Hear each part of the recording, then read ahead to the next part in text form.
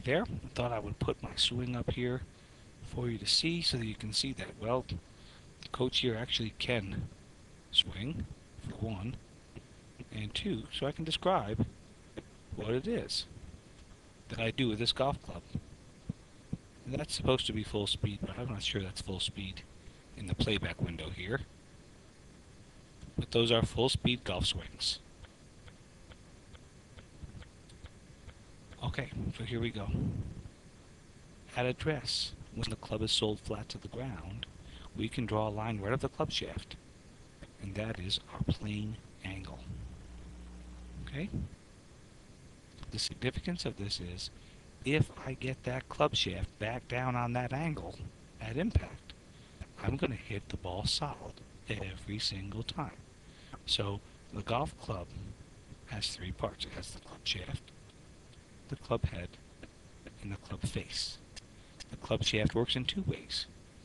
You've got to lean forward and the hands have to be ahead of the golf of the club head at impact, or you can't hit down and compress the ball. But second is that lie angle of the golf the way the club is designed. The club is square only when the face is going toward the target, the path is going to the target, the shaft is at its original angle. If the club comes down on a more vertical angle than that, the ball is going to the right. That's why a ball below your feet slices. Uh, conversely, if it comes down flatter than that angle, the ball is going left. That's why a ball above your feet wants to go left. That's loft at an angle for you. Anyway, my whole swing I guess it's it's not really a theory, folks. It's just it's the use of the club to create predictable ball flight. That's all I preach. Well, it's based on returning that club and controlling the shaft, the face, and the path. That's all. So here's what happens. The first thing I do is an idiosyncrasy. I drop my hands down. I think it's just a comfort thing. I'm not sure. My hands drop right there as I take the club back. I don't care drops a little below plane, and I don't care about that either. Because at the top of the backswing, despite the fact that I'm trying to stay on plane, at the top of the backswing there is an automatic shift above that original plane to a secondary plane. Despite the fact that that is a very good backswing. Okay, and I'll tell you what I think about that. My left arm is perpendicular to my spine. My right forearm is straight down. My left wrist is flat. Pretty good stuff. Despite that, I'm a foot above plane. And if you think that's on plane, I suppose that you might not realize you have to get back down to the original plane. If you think that you're on plane up here at the top, you might just swing down the secondary plane, and that shaft angle will be much more vertical and the ball's going to go right on you. In fact, it's I think it's one for every one degree more upright that club is at impact than it's designed to be. The ball is going to go 11 feet right at the target on an otherwise square path, square face hit. So imagine that I'm coming down, what's that going to be, 10 degrees? That's 50, uh, 10 degrees, 10 times 11. That's got to be a lot of feet. 100 feet 100 feet to the right, even though the club face is square and the club path is square. That's why this original plane angle is so important to me. so it's not just the club face and the club path, it's also the club shaft. So here's the deal. You want to get those hands. I don't care if you drop them, pull them, swing them, uh, I don't care if you move your right arm. I don't care what you do.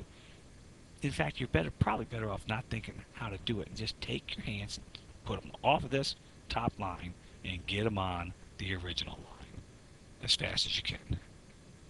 The earlier, the better. The more you can ride that plane, the more your line of compression is going to be straight, as well as center contact. So there, the hands are already dropping off that secondary plane you'll notice up here that my club shaft has flattened to an even flatter angle than its original angle. That's okay. That's preferred errors to get inside that plane. The reason in my case that that happens, I always had a steep shaft angle, and I learned how to what's called swivel, actually rotate my left arm this way at the start down to get that club to always flatten out and err toward below plane rather than above it. Okay? And as you see, it turns out pretty good by about here. The hands have returned to the plane. The club shaft is crossing the plane a little bit to the inside, not too shabby. Boy, that's a good picture right there. That's the slot, folks. The club shaft is right on the right forearm. The hands are on plane. Oh boy, that's it. On plane. Parallel to the target line, parallel to the ground. The entire right forearm's on plane. Right on plane still. I'm going to get rid of the secondary plane now. Oh boy, that's going to be a good shot, folks. Unless the club face is not square. Now there's contact. The entire length of the shaft is flat on that plane. I want you to notice something else. The ball's gone, right? About a foot or foot and a half gone. There comes the divot. That means the low point of my golf swing.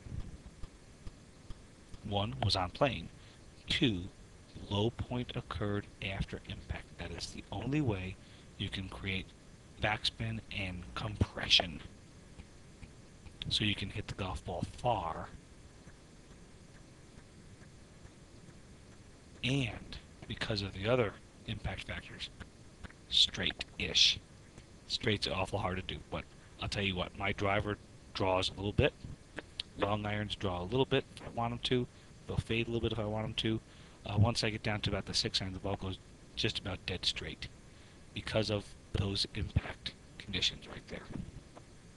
The nice thing about this whole swing plane model is that once you get down to where you can repeat that path of club, that plane of shaft, then the only variable you have is the club face angle, and that is very manageable. Still takes educating the hands, but it is very, very manageable. Now, you know, I'm not one of those active body people, but in my case, I've never really had a, a tr trouble turning out of the shot. So I don't even worry about it. I just let my arms yank my body around. Okay, I prefer to concentrate on either my hands or the mainly really the club head itself. And let my body do what it's got to do to deliver the club the way I want. So I don't really how-to instruction scares me. I don't want to tell people how to do this. What I want them to do is get on video, see what you are doing, do something different within my guidelines. But again, they're not really my guidelines, they're the club's guidelines. So there you go. That is my swing. I'll show you that at full speed a couple more times.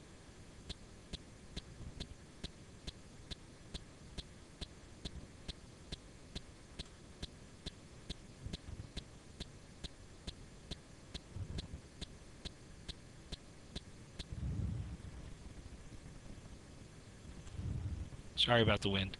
Can't control that.